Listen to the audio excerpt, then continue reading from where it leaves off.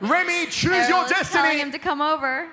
Up, up, up. Oh, he answers the challenge. Yes.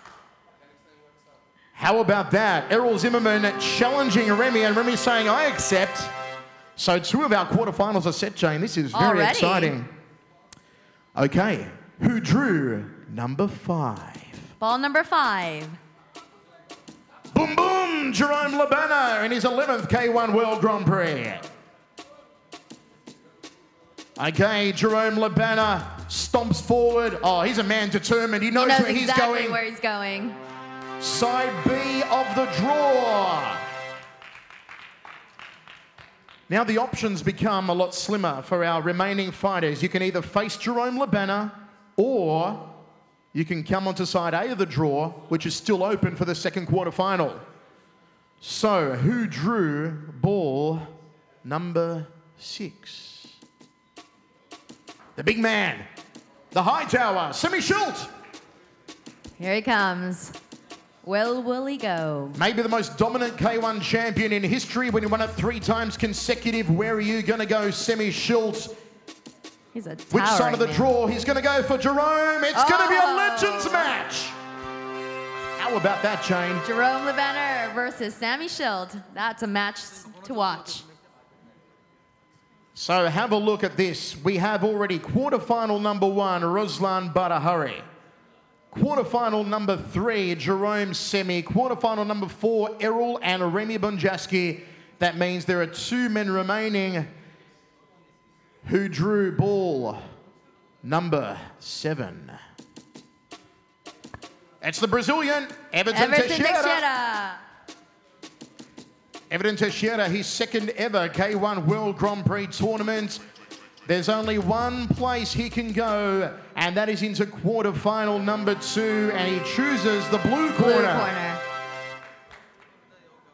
Which means that his destiny has already been decided for him as far as the draw goes. He's drawn ball number eight in his first ever Grand Prix.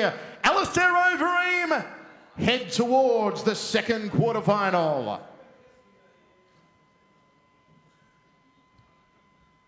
Have a look at this. The Golden Glory fighters are spread right across the board here. They've avoided each other in the opening round. Alistair Overeem, ball number eight, and he will meet Ewerton Teixeira. Lucky number eight. So, folks, all the boxes have now been filled as we just put the official names into place and we'll run through the tournament bracket. I'll tell you what, I've seen every K1 World Grand Prix since 1993, and this has to be an absolutely epic lineup. You've got a real mix of fighters here power fighters, technical fighters, veterans, and newcomers. Let's run you through the tournament. Quarterfinal number one, Ruslan Karaev and Badr Hari. Give them a round of applause. The winner of that one meets the winner of quarterfinal number two, Alistair Overeem and Ewerton Teixeira. Side B of the draw, quarterfinal number three, the legend Jerome Le Banner takes on the high tower, Semmy Schilt. And quarterfinal number four, Errol Zimmerman calling out Remy Bonjasky. Remy accepting they will round out the Fields K1 World Grand Prix 2009. We're going to hear from our fighters right now, so if the ladies would like to take the microphone, first of all to Ruslan Karaev. Ruslan, you had the first choice. Tell us about your thoughts. Да, ну я очень рад, то, что мне выпал первый номер. Я встал там, где я хотел. Также я очень рад, то, что э, в третий раз я встречаюсь э, с Бадахари. Будет, я думаю, хороший бой. В общем, э, всей планировкой я, можно сказать, рад. Спасибо. とにかく1番というくじを引いてとても嬉しいです。1番という数字はとても好きですから。そして自分の行きたいところに行きました。一番行きたいボックスに入れました。そしてまたバタバタハリ選手と再戦するというのも嬉しいし絶対に見応えのあるいい試合に再びなると思います。そのためにトレーニングを重ねていくつもりです。I'm very good at number one.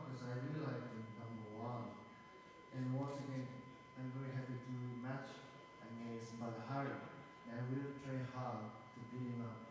Thank you. Okay, Ruslan Karaev and Badr Hari have met twice before. Ruslan Karaev won the first contest. Badr Hari knocked him out the second time. This is their trilogy. Badr Why did you choose to face Ruslan Karaev? Uh, I think uh, we always uh, make good fights. You know, I think uh, his style and my style they uh, they uh, they answer to each other. So uh, you know, I think it'll be a very epic bout, and uh, I think the fans will be the big winners in this uh, in this uh, in this fight. And I, if I see the event, I think in this whole event, so uh, I can't wait until December 5. Okay, their last fight was one of the all-time greats. It is quarterfinal number one, Ruslan Karaev and Badr Hari. Alistair, you really didn't have a choice at the end of the day. It was Ewerton Teixeira you were going to face, given the way that the balls fell from the box of destiny. How do you feel taking on the Kyokushin Karate World Open champion?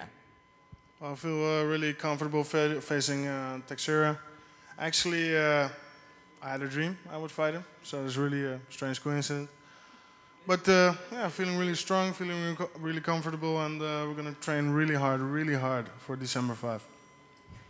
Okay, Alistair Overy meets Ewerton. Ewerton Teixeira, once again, your destiny was pretty much set for you against Alistair Overy. Your thoughts on facing this monstrous man? É, então, realmente ele é um atleta muito forte. É, assim, ele é bem agressivo. É, eu também sou agressivo. Então, acho que a luta vai ser muito, muito boa, muito bonita.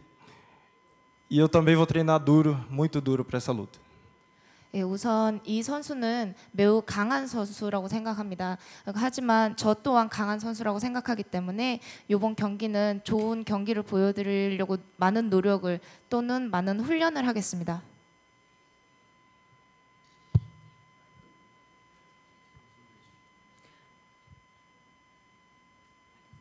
Oh, he will be preparing very hard to prepare for this battle with Alistair Overeem. Uh, he's looking forward to this fight and uh, uh, will be preparing very hard to overtake Alistair Overeem. Thank you, Ewerton. Jerome Le Banner, the 11th time you've qualified for the K1 World Grand Prix. You could have gone to side A of the draw. You chose side B. Tell us your thinking plan. Uh, my thinking plan. I will go to uh, to Chakuriki to train for, for this guy this time. You're going to train with Thom Harinck? Yeah, yeah, yeah. That's it. Okay, and he takes on Semmy Schilt. Semmy, your thoughts on showdown with Jerome Le Banner on December 5? I had a dream I stand in this bracket, so uh, that's why I stand here. Doesn't mince his words, does he, Jane? Semmy Schilt. Short and sweet. Scary man.